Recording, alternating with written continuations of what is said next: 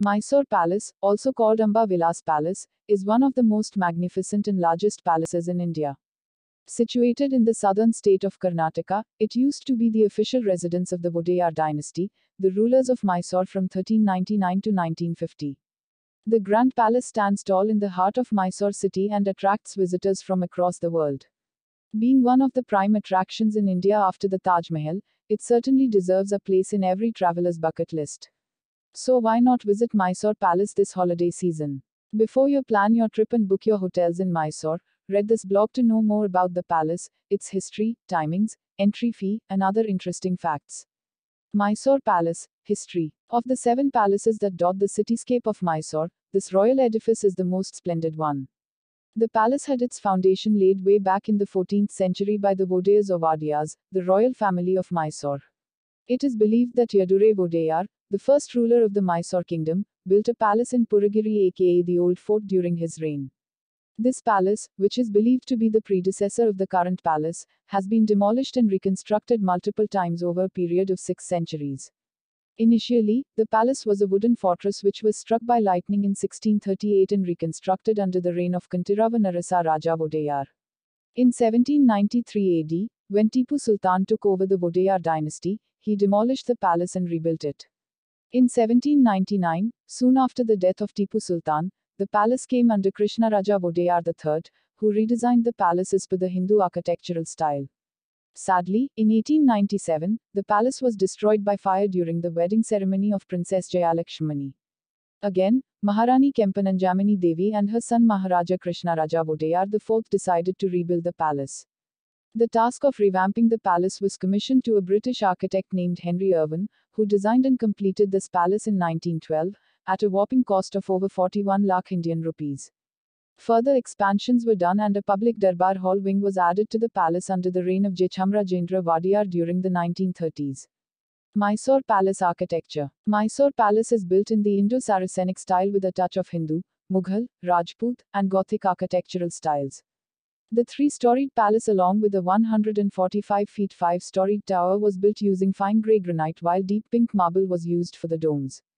The exterior of this marvelous structure is enriched with two darbar halls, several arches, canopies, columns and bay windows. There is also a sprawling green garden surrounding the palace. The interiors are opulently designed with carved doors, stained glass ceilings, glittering glazed flooring tiles, spectacular Czechoslovakian chandeliers, and works of art from all over the world. All the rooms of the palace are stunningly luxurious and quite appealing.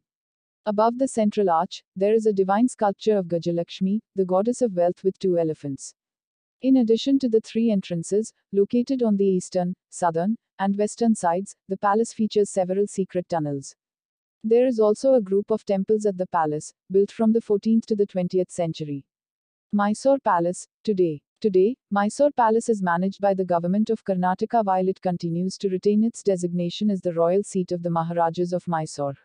The grand edifice preserves various valuable possessions of Vodeyars which include souvenirs, jewelry, royal costumes, and paintings.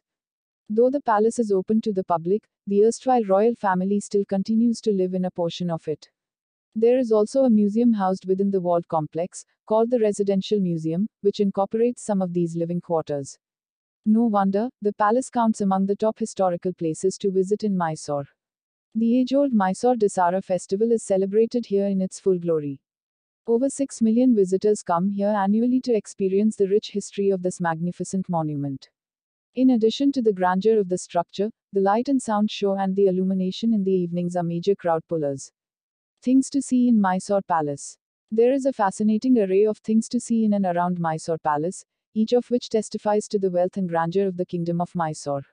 The top things to see in Mysore Palace include the Gomthotia Dolls Pavilion, a collection of traditional dolls. Golden Howdah, the Maharaja's elephant seat made of 85 kilograms of gold.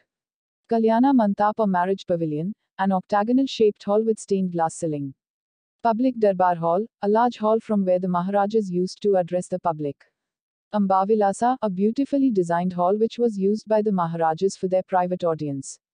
Elephant Gate in Bagilu, the brass gate which serves as the main entrance to the palace. Paintings of Dasara procession. Portrait gallery, a collection of valuable paintings and photographs of the royal family. Casket room containing royal collections. Wrestling courtyard. Temples inside the palace. Mysore Palace Light and Sound Show. The light and sound show held in the evenings is one of the prime attractions at Mysore Palace. The entire show portrays the 600 year old cultural heritage, history, and traditions of the Wadeyar dynasty in a visually appealing manner. Duration 45 minutes. Timings 7 pm to 8 pm, all days except Sundays and public holidays. Tickets 70 rupees for adults, 30 rupees for kids above 7 years and below 12 years.